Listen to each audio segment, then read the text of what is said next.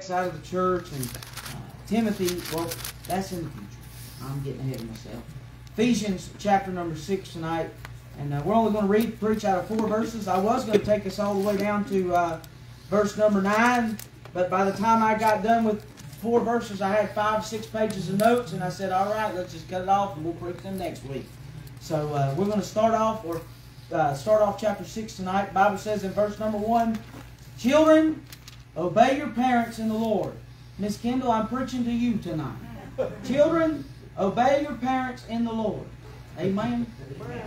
For this is right.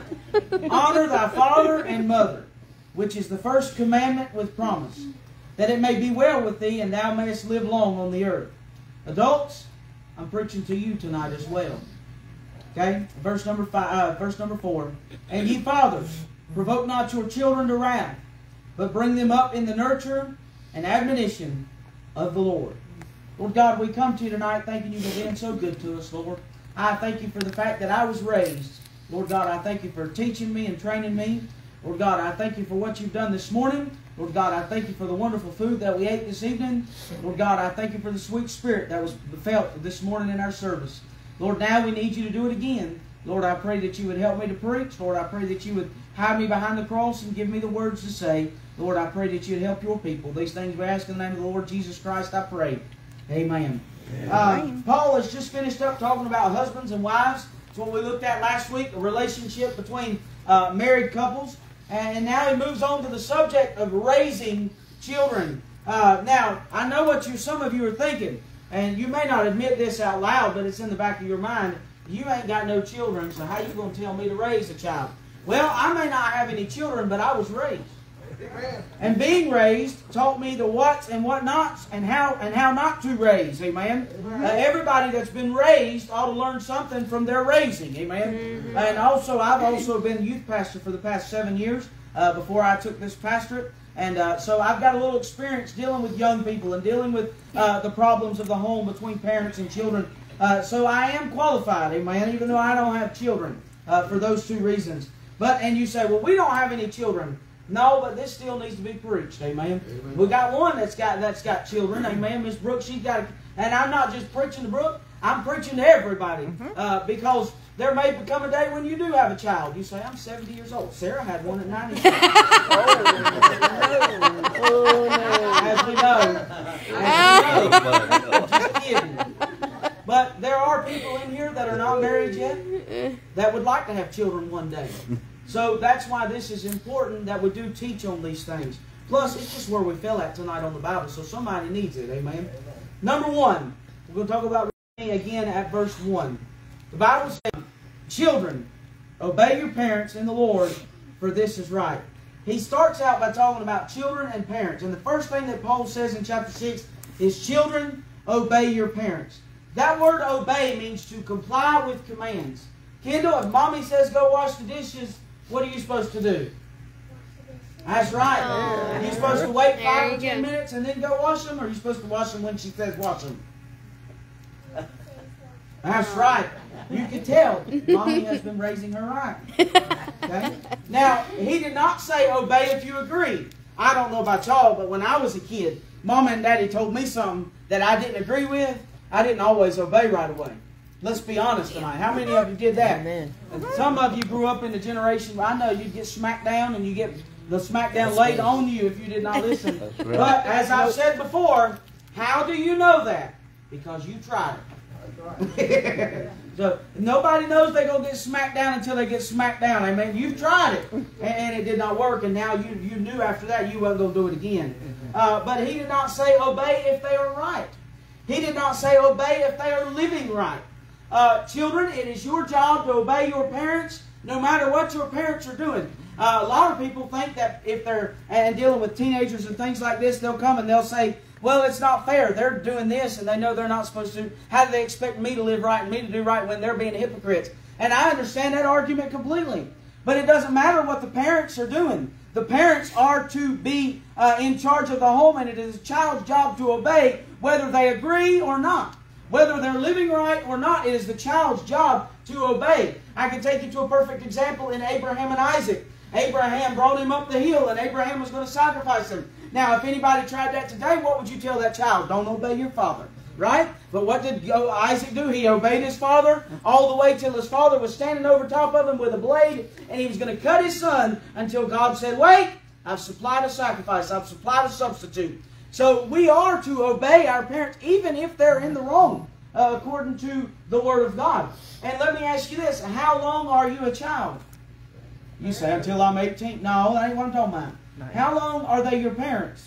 Forever. So you adults, I'm preaching to you too that are dealing with uh, your parents that, that, that, that are not living right, your parents that, that sometimes get on your nerves and they bother you as an adult. Amen? And you've got to obey them as well. You've got to respect them as well. Uh, it is the child's job simply to obey the parent no matter what the command is. That's the job. Um, now, if you're being hurt at home, tell someone.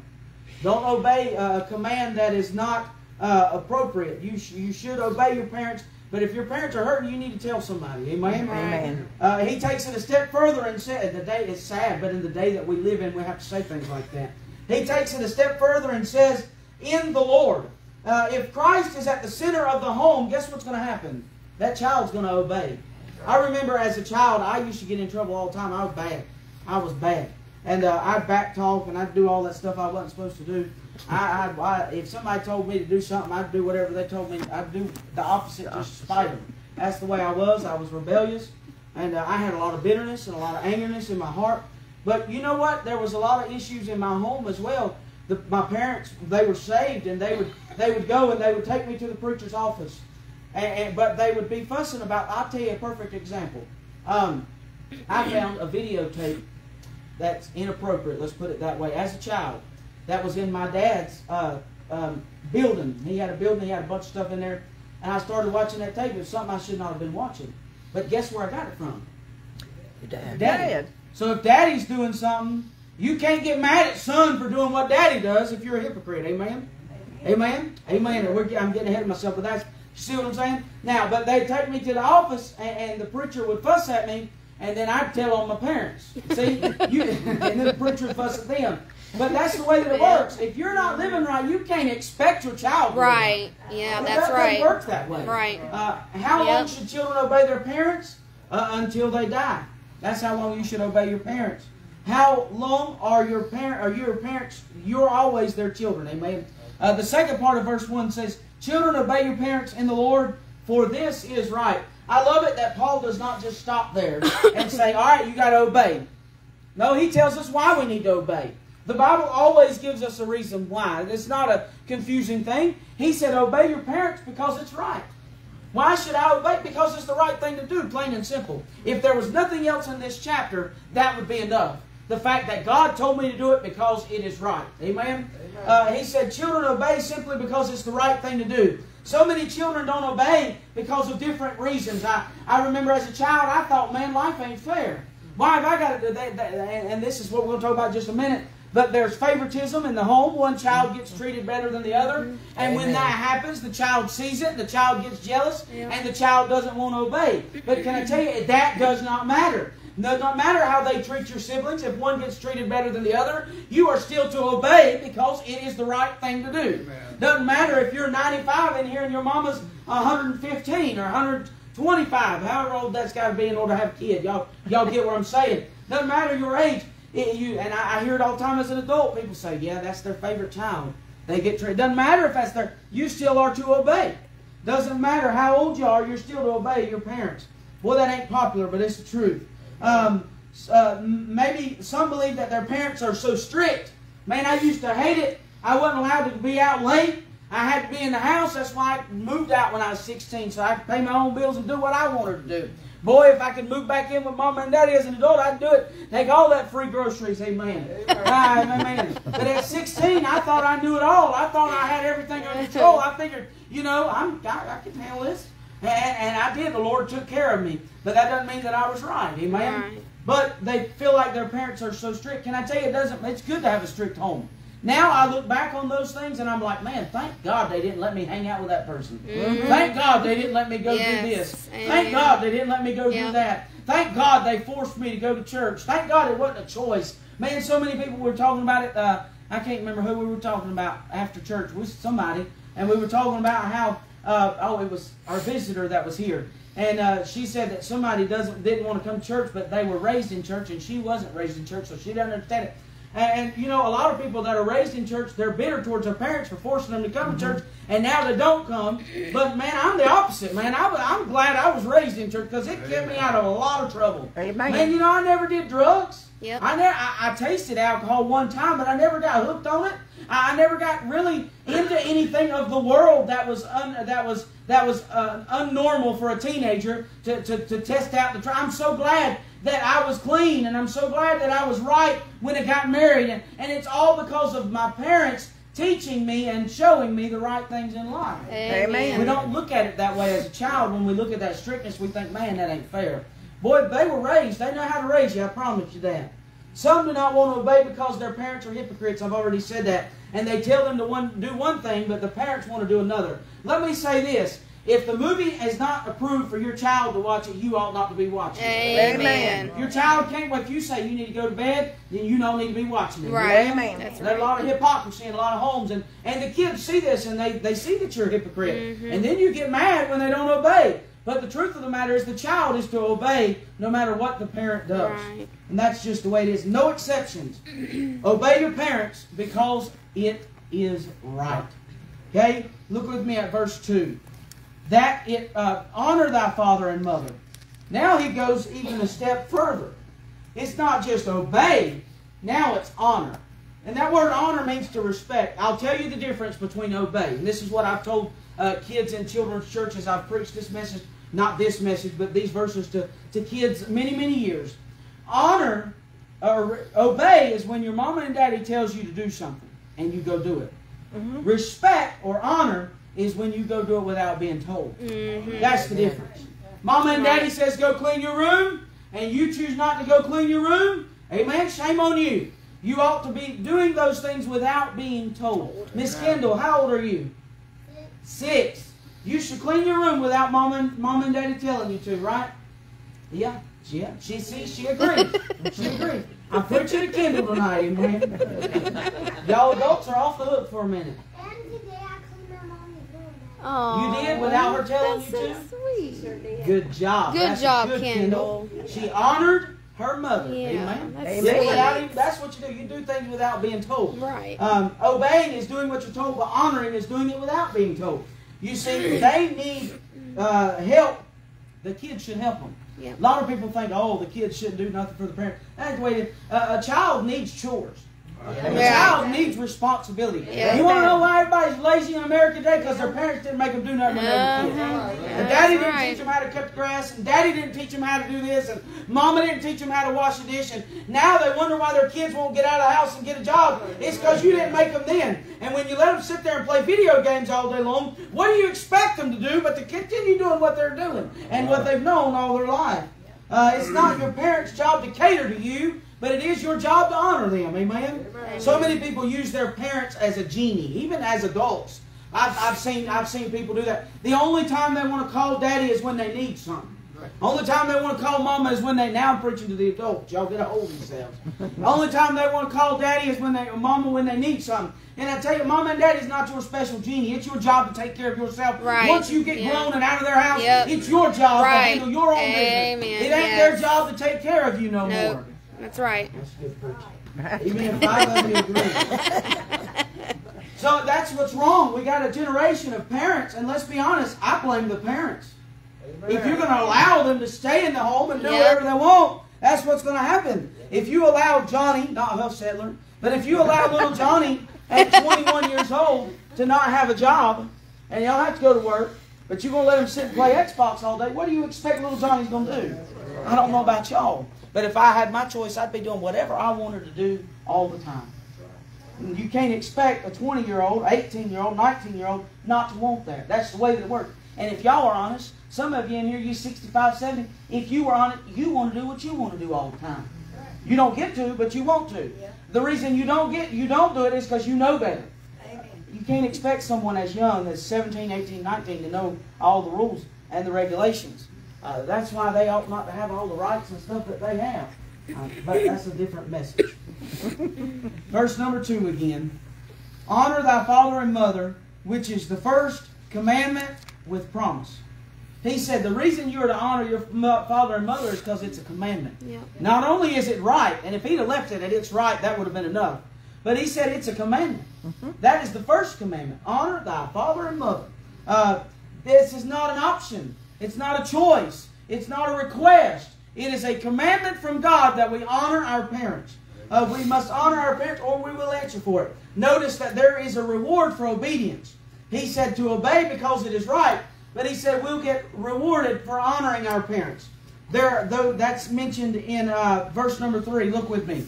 Bible says that it may be well with thee. He said if you honor your parents, now he's talking about honor, and he said you ought to obey because it's right. End of discussion. You uh, now you honor them. That way, it's well with you. Have you ever done something good for your parents and you think, man, that felt good? Anytime we do something right, that's the way we feel about it. Even if it's for our parents or if it's for our whatever it is, uh, we are to do it so that it'll be well with us. My daddy told me all the time growing up. He said, I feel sorry for you if you have kids. He said, as much trouble as you've given me, he said, you know, they say that your kids are going to be ten times worse than you are. That's why we ain't had none. Amen. Thank God. I'm just kidding. The Lord just ain't blessed us with any God. But we always feel better when we do right. And, and it, your life is easier when you do right.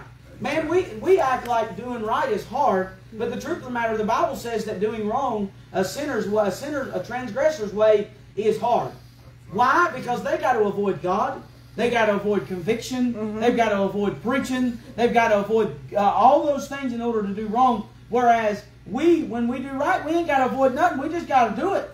And when you do right, it, it, it's supposed to be easier for a child of God because you got the Holy Spirit living on the inside of you. When you honor your parents, it'll make you well. It'll make you feel better about yourself. When you don't honor them, you know what you're going to have when they die? Regrets. Going to have regrets.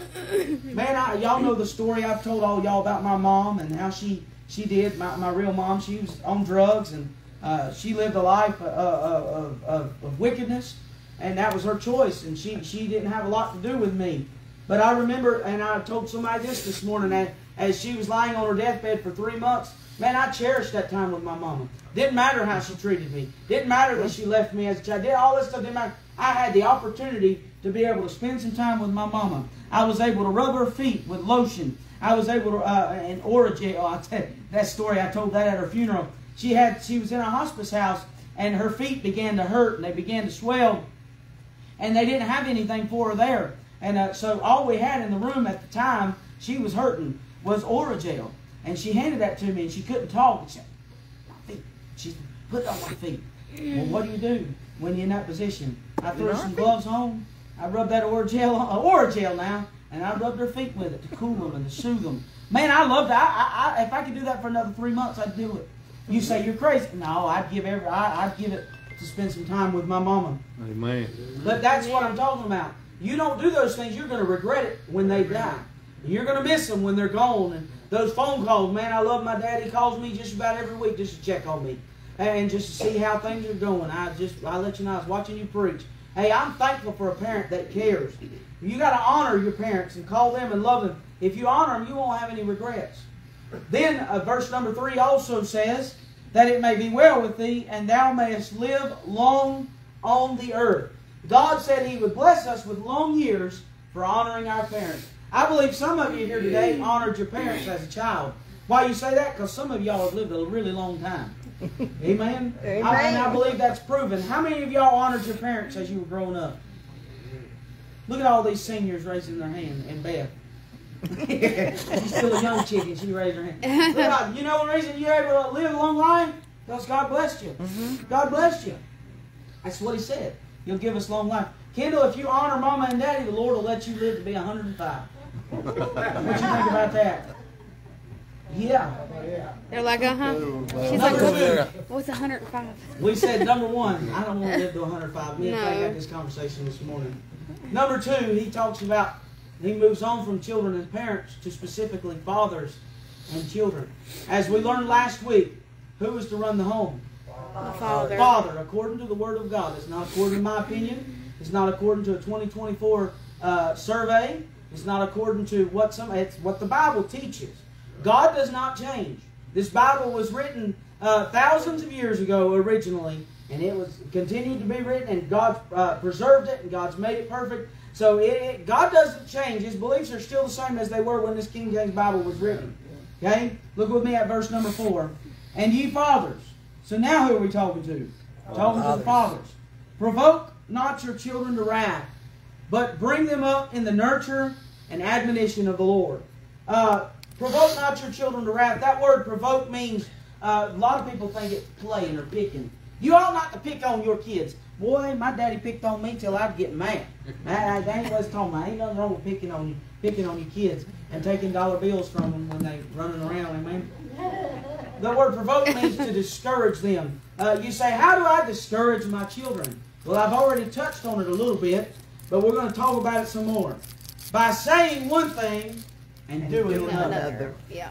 You say, oh, well, the Bible says that's wrong. And then they come in the church doing it. What do you expect? Mm-hmm. What do you expect? That's just like we had the kid on the slide when we were doing that. She she had cussed, and uh, I didn't fuss at her or nothing. I just said, "Don't you say that?" And uh, her daddy said, "Well, not her daddy, but her grandpa." He said, "She's with a rough group." I said, "Hey, you know, I mean, but you can't you can't expect little kids not to pick up on what we say. They're like a sponge, and they're going to absorb everything. That's why you shouldn't have roasted church members at your dinner table because they're going to hear it. Yep. Or roasted preacher That's at the dinner table Yep. because the kids are going to hear it and they're going to come back and they're going to say tell it. you. And then you wonder, well, where'd they hear that from? Mm. Yeah, we wonder where they heard it from. okay? And, and I know they hear they pick up things at school too, but they pick up a lot from mama and daddy. How do you think a child learns to walk, talk, and eat? By watching. They got them eyes on their parents that whole time. Child doesn't learn how to eat uh, without watching its parent eat. Uh, here's another way: by always blaming and fussing and never praising them. Can I tell you, if you never praise your child, shame on you. And, and as a, parent, if you never did uh, praise your child, shame on you. You ought to call them, even if they're adults, call them and tell them, hey, I'm proud of you. I'm proud of you. You know, sometimes that makes somebody, this just puts a pep in somebody's step. Be having a rough day and somebody just says, you know what, I see what you're doing. I'm proud of you. And, and you say, well, we don't do the things that we do for a pat on the back. You're right, we don't, but it still feels good. And it's still nice to get one every once in a while, amen? Amen. That's why it's so important that we praise people. We praise uh, the children and say, you know what, I'm proud of you. If all they hear is negativity, all they're going to dish out is negativity. That's right. Another way is by being inconsistent in discipline. There's favor in the home, and I've seen it. I, I, I've seen. I, a matter of fact, if I'm honest with you, a lot of parents won't admit it, but it's almost in every house. You get in that house and you watch closely, you'll see who the favorites are. Mm-hmm. You can see by the way they're they're they get everything that they want. Yeah. They ask for it, they get it, and and you say, oh, I, I, well, I know a lady right now that's on top of my mind. She don't go to church here, so y'all don't think it's some of y'all. It's not where y'all. she had two daughters, and there was one that she treated like royalty. I mean, she treated her like a princess out of uh, some Disney movie or something. And then the other daughter, she just treated her like trash. Well, guess what happened when the one daughter turned 16? She jumped ship. She got out. She moved in with a boyfriend. She ended up getting pregnant out of wedlock. Hey, you want to know why that happens? Because of some of these things that we're talking about tonight. Uh, and, and, and she ain't in church. She ain't serving Lord. Of course, Princess is. Princess is faithful. Princess, but that's because, you know, Mama treated her that way. When you treat one better than the other, the other one's always going to be gone. Uh, I've seen it in, in my own household. I know what I'm talking about. Uh, the kids know whether you have a favorite or not. And you can deny it all day long, but they know it. And you parents ought not to have favorites because it ruins the home. Look at um, Jacob and Esau. Look at what happened there. Look at um, um, um, who's the other one? The one Joseph's father. Uh, he treated him like a royalty, and, and all the rest of the boys got jealous and upset, and they threw him in a ditch. Man, if I was one of them brothers out of jealousy, I'd probably want to throw him in a ditch too. It ain't fair. He get this this coat and he gets worshipped and praised while I'm out here working the field, and that ain't right. And, and all parents, if you're honest, at times you treat one child better than the other one, and it ought not to be that way. It ought not to be that way. Uh, another way, another way to, to discourage your children is by making promises and not keeping them. Can I tell you, every child remembers the promise that you gave them. And I've heard it, oh, they'll forget it in a few minutes. No, they won't. They'll remember, and they'll remember, and they'll remember. And they may not cry about it, and they may not be upset, but deep down, it hurts them. Uh, it hurts them. You ought to keep your promises to your children, parents, by making light of your child's problems. Boy, have I, I do I know of that when a child comes home with an issue. And, and how many suicides have happened because a child comes to their parent and they says this person's hurt my feelings. And, oh, toughen up, you'll be all right. Let's be honest. And then the next week they commit suicide. That- that's what happens when you push it off as if it's nothing. You ought to to to uh, respect your child enough to sit down and talk to them and listen to what they have to say. Get down on their level and understand where they're coming from. Uh, not only that, but he must nurture them according to the verse number four. Nurture them in the uh, admonition of the Lord is what verse four says. A father must show love to his wife and his children. Can I say that your your children need to see you and your spouse in love? It's good for that child to see that. It's good for them to see you give your wife a peck on the cheek every once in a while. It's good to see your, your children to see y'all being playful. Uh, that is a good thing because what that does is when they get older, they're going to see how a marriage is supposed to be. Yeah. If a marriage is always fighting in front of the kids, a parent, the, the kid's going to marry and they're going to fight with their spouse. Yeah. Right. They do what they see. Okay? Uh, your children need to see you show affection to one another so that they can learn how to treat their spouse spouse when they get married. How do children learn? By watching. We've already said that.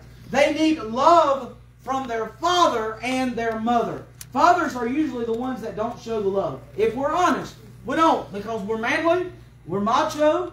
We think, you know, toughen up, get over it, you'll be all right. Mama's usually the one that runs to little Johnny and says, It's going to be okay. Let me put a band aid on. Let me do this. Let me do that. And that's why we got 30 year olds running to their wives saying, Oh, put a band aid on there. and I can't handle it. Hey, I didn't, my uh-huh. mom wasn't there. Can't say that about me. Mm-mm. I'm just full rotten. Yeah, you are. Yeah. They need to see that love from their mother and their father. It's not enough just to supply the household with what it needs. That's what so many fathers feel like it's their job. It's my job to go to work. I'm going to drive the truck. I'm going to be gone for three three weeks, three months, and not see the kids and not see the wife. Man, I, I don't know how any man could do that. And I'm not bashing truck driving. Sometimes you got to do what you got to do. But I'm the type of person I couldn't be away from my wife that long. Sometimes you got to do what you got to do. If we didn't have truck drivers, our country would be in trouble. That's So don't misunderstand what I'm saying. But what I am saying is, make as much time as you possibly Yeah. can. My daddy drove a truck for a long time. Trust me, I ain't bashing truck drivers. Somebody's got to do that job. But you ought to make time for your family. When you're gone all the time, and, and, you know, I mean, there, there, there, there's there's a void there that needs to be taken care of. Uh, it's just not enough to go and supply a meal and make sure that they're taken care of uh, physically. God looks to the home for proper training, not the public school system. I know that right. we live in a time where they've taken, they've kicked God out, they've kicked the commandments out, they've kicked the Bible out, and now you've got a lost school system. The most of these teachers are dying and going to hell. They're lost as a, as a golf, golf ball in high weeds, trying to teach kids morals and trying to teach kids what they ought to and what they ought. It's not the public school system's job to teach morals. Right. Remember, as a kid, man, they t- we had to do swish. How many of y'all did swish? hmm Brooke, you did. Right, you did. That's where you had to take that. No, you went to Christian school. You might not have had to do it. You did it. Yeah. The, the, the, Haley, did you do swish? Well, You're you took about that juice and you had to drink it It's mouth rinse. once a week. That's what it is. Whatever it is. Man, they had us do that. We had to do it for like two or three minutes straight. That was the most annoying like thing in the bubble gum or world. I hated it. I think some of y'all did. Y'all take the tablets. Some of y'all done tablets. They made you no. Well, this is what public schools making kids do. I don't know if they do swish anymore, but that was back in the day. They They, were trying to teach us health and trying to teach us uh, to be healthy. Now the public school system's saying that uh, they're they're and they won't tell you this, uh, but they're passing out condoms to teenagers in the school. That's right. And they have they according to them they have the right to do it without telling the parent because they're trying to prevent uh, that child from catching a disease or getting pregnant. But the truth of the matter is the best one we've already studied this, but the best way to not get pregnant is just wait till you get married. Right. You ain't gonna get a disease if you do that. You ain't gonna get it pregnant until you're ready. Well, I don't know if you'll ever be ready to be pregnant, but you know what I mean. But the school system, they're trying to teach morals. They're trying to teach this and trying to teach that. Hey, that's your job as a parent at home. Yep. You ever thought about why there are so many children that are so vulnerable and they're so willing uh, to, to, to do things with adults in the school system that they're they're normally that, that you never would have heard of back in your day?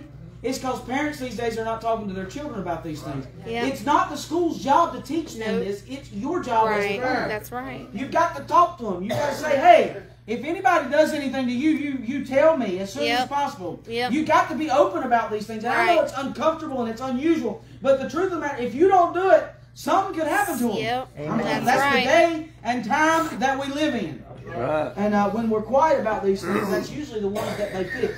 Uh, this is what's wrong with America today. Parents are not teaching anymore. They let everybody else teach them. They'll send them to church on the bus. They'll send them to school on the bus. They don't go to church with them. They don't go to school with them. Whatever they're being taught, oh, phooey, who cares? That ain't the way it ought to be. Parents ought to be teaching their children as well. The school's job is to teach your kids math, reading, science, and, and that's it. They don't need to be teaching all this other stuff that they're teaching. But it's the parents' fault because they don't step up to them. Okay, not only nurture them, he must discipline them. The word nurture also means learning through discipline. I think I missed one. No, I didn't. He must discipline them. That word nurture also means learning through discipline. It is your job as the parent to discipline, and the Bible does not talk about grounding and putting them in a corner. You know, I, I got all kinds of things as a kid. I, I most of y'all grew up in a time where they just whipped you with whatever they had. My great grandma, man, if I've done something, done something, I'll tell you this. I'm gonna tell on myself. Can I, can I, can I let you know I was, I was a fleshly, worldly little kid. We were riding down the road. I'm gonna let y'all hear some stuff about me. We were riding down the road. I was in my great grandparents' back seat, and uh, I thought it'd be funny. Kendall, don't you ever do this? I thought it'd be funny to flip the people off behind us. You know, that would have been hilarious as, as a seven or mm. eight year old boy, you know. You say, I would have never done that. Yeah, you would have. Quit lying. You know, y'all, you, I know, I know. Y'all, y'all got halos. Yeah, yeah, funny. As a seven or eight year old boy, I thought that'd be hilarious. So I did it. And this man jumps out at the red light. Matter of fact, it was on Franklin Boulevard. I'll never forget it. This man jumps out of his car and he starts knocking on the window. And my grandpa didn't see him. My grandma said, Was that you knocking on the window? I said, Yeah, that was me. You know what kind of kid I was. I'm being honest with you. And so we so we left, uh, or the light turned green, and they pulled up. And then he got out at the next red light and knocked on the window. He followed us all the way home. Wow. And he told on me. And my grandma, when she wore me out, she wore me out. She grabbed a belt and she said, if I hit something, it's because you moved. And she- that's exactly what she And she wore me out for about five or six minutes straight. Needless to say, I never did that again. Yeah, right. Right. You say, I would never do that. You, you yeah, okay. Okay. I Ain't no telling what an eight or a nine year old boy would do. And I thought it was funny. When you see stuff like that on TV, what do you expect? Okay? But that word, and, and I, I would be put in the corner as a kid with uh, my daddy would put me in the corner and he'd have a dictionary in his hand and a dictionary in that hand. Anybody ever had to do that? I had to do cans. Cans? Like vegetable Dictionary is harder and heavier. Well, she Yeah. had mercy on the girls. See that? Well, my daddy, I had to stand in that corner, and if I and if I slip, bam. yep. as soon as I slip, bam. mm, My daddy had a paddle, and uh, he tried one with holes in it. He had one that didn't have holes in it. And I remember one time, I'm talking about whipping your children tonight. This is biblical. I'm going to show you to you in the Bible. Uh, he told me, he said, "All right, pull your pants down." He was going to whip me. You say, "Oh, we ought not to do that in this day. It's going to it's going to warp them." I'm doing much better now than I was when he whooped me, ain't I? Don't you think? I'm standing up here preaching to you, standing up here leading a congregation of people. Standing up, I, I, I believe whooping helped me every once in a while. Matter of fact, I, I didn't get enough, really and truly. I got away with a whole lot of stuff that they didn't know about. But uh, my daddy uh, said, "Pull your pants down," and uh, he said, "Bend over my knee." Well, I went to pull my pants down, and y'all know I was smart. I had Oh. about eight pairs of underwear on. you know what? That's when he said, "I'm gonna whip the bare bottom." So I had to take it all off, and he wore me out. Uh, you know, that's good. That's good. That is good. Uh, my, my my my mama, she now this ain't good. She's broke my stepmama. Let's put it that way. She broke a brush over my head one time. That ain't right. You don't do that. No. I, I've been uh, whooped in all kinds of different ways. The Bible talks about uh, chastening your children. God put a cushion on your backside for a reason. That reason is for it to be whipped when it needs to be. Okay? I believe in a good, firm woman. I don't believe in beating your children and being mean to them. I don't believe that at all. But the Bible teaches us that we are to chastise, to whip our children. Look with me at Hebrews chapter number 12 and verse number 6. We've got to go um, backwards, I believe, to get there. No, we'll go forward. I'm still learning my Bible, as we learned Wednesday night. Hebrews chapter 12 and verse number 6. I'll give you two verses on this, and then we'll, we'll be about done. Bible says in verse number 6, For whom the Lord loveth, he chasteneth and scourgeth every son whom he receiveth. If ye endure chastening, God dealeth with you as with sons. For what son is he whom the Father chasteneth not? But if ye be without chastisement, whereof all are partakers, then ye are bastards, and not sons. The Lord's not going to allow us to live any way that we want to live as His children. He will punish you. And He doesn't physically take a belt and wear us out. But He will wear you out to the point where you're ready to surrender according to the Word of God. That's right. He says, if you do not feel conviction for your actions, then you're a bastard. That's a Bible word. Uh, and can I tell you, He's also said, what man does not whip his child, whip his child. Anybody that does not whip their child is someone that is not showing their child love and correction, according to the Word of God. Now, if we go over to Proverbs 13, chapter 24, this is the verse in the Bible that is always misquoted. You ever heard this statement? You spare the rod, you spoil the child. the child. Now, have you ever heard somebody say, the Bible says, if you spare the rod, you spoil the child? Anybody ever heard that? Mm-hmm. They're a liar. They don't know their Bible. This is what the verse actually says. Proverbs chapter um, 13. Bible does not say spare the rod, spoil the child. That's a good statement. But if anybody says it's in the Bible, they don't know what they're talking about. They probably haven't read their Bible. Proverbs 24. He that spareth his rod hateth his son. But he that loveth, loveth him, chasteneth him betimes. That means you're chasing him till he gets a hold of it. Many times. Daddy, sometimes when he'd whoop me, he'd say, All right, you're going to get 10 licks. If, depending on what I did. And then he'd wear me out for 10 licks, and I'd cry and pout, and I'd be mad, and I'd say, Daddy, you don't love me. Daddy, you don't care about me. One time I told him, I said, I'm going to call Social Security on you. That's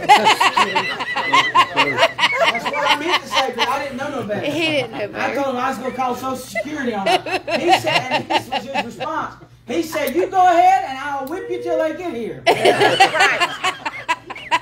what a good parent does. That's right. What a good parent does. Obviously, I'm not warped. I'm not warped. I'm okay, y'all. Yeah. I understand that we live in a time where they feel like whipping your child is going to warp them. The Bible teaches this. This is not me teaching. This is I'm teaching you Bible tonight, and it is this is everyday living, by the way, in- in households and homes. You ought to whip your children according to the Word of God. Now, if they do something simple, I don't believe they deserve a whooping for everything, but but uh, they need to be whipped every once in a while. And like I said, I got enough. I I didn't get enough whoopings. I got away with a lot more than I got whooped for. But there's also times where I got whooped for stuff I didn't do. That's right. Uh, you know, that's just the way it works, kids. It ain't always fair.